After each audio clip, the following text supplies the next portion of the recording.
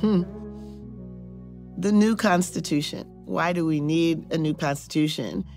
Well, as you probably now have inferred, the old Constitution um, needed a refreshment.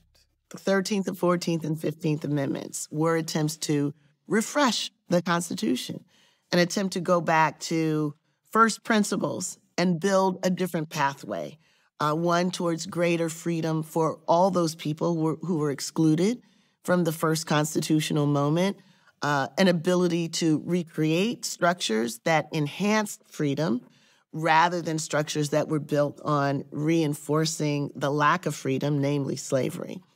And um, a, a constitution that was capable of expansion rather than constant retrenchment. So the 13th, 14th, and 15th Amendment tried to do that. They were overridden by politics and by the Supreme Court. And we're still living in the aftermath of that. We're living in a period of time in which those efforts to remake our justice system uh, have been cramped.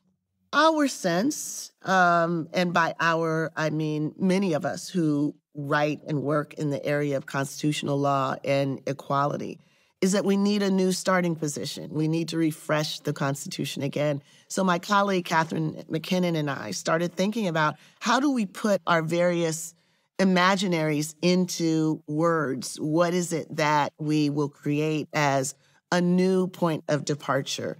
It can give us the uh, objectives, it can give us new beginnings so that we can rethink what our social order should look like. So that's what we started to do. We wanted to draft an equality provision, number one, that didn't separate race equality from gender equality, from equality based on sexual orientation, that brought all of these different lessons and challenges together into one amendment that says equality is for everybody. And number two, the fact that we didn't have equality in the past cannot be a benchmark for determining how much equality we can have in the future. So we wanted to create a new baseline. And it's a new baseline based on what our country would have looked like had we started off initially with a profound commitment to making equality real.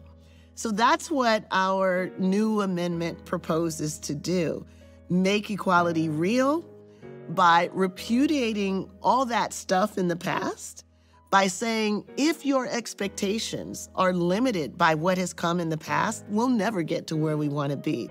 So let's create new expectations based on where we want our society to go and create a constitutional amendment that allows us to get there. The Constitution, the sacred charter of we the people, the blood and sweat of we the people the life, liberty, and happiness of we the people. The people were to rule, not some of the people, not the best people or the worst, not the rich people or the poor, but we, the people, all the people.